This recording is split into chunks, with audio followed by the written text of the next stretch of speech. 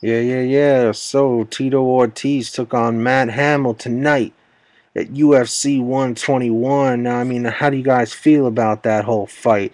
I mean, I think that the winner, you know, was who it was. I mean, who did you feel deserved to win? You think Tito or Matt? You tell me in the comment section below. Tell me who you thought should have won. And if you think who won, you know, deserved it. What'd you think about the kimura that was getting locked in? I liked it.